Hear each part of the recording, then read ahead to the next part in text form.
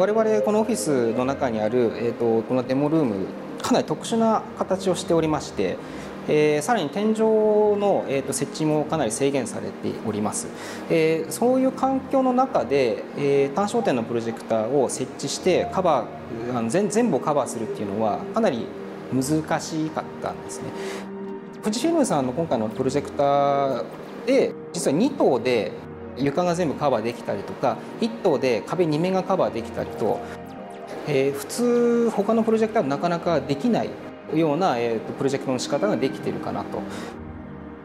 でさらにあのワーピングであったりとかブレンディングであったりとかっていう作業もあの通常の半分以下の速度で全部処理できた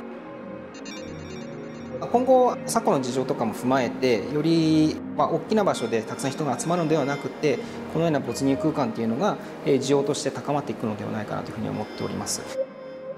で今回あの我々が作ったものを通して観客の方々が喜んでくれるのかっていうものはあの明白なんではないかなというふうに思っております。